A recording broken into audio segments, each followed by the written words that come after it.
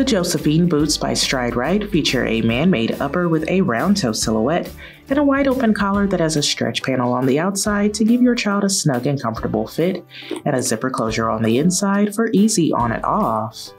They have a fixed strap that wraps around the top of the leg with a buckle accent that adds a nice touch, and they have an all over glittery finish to give them a cute and trendy style.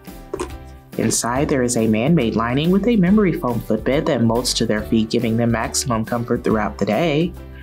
They're very lightweight with a sturdy and durable build that's made to last, and they'll get a small lift from the block heel at the back. It's all on top of a durable and flexible man made outsole that's grippy to keep them stable.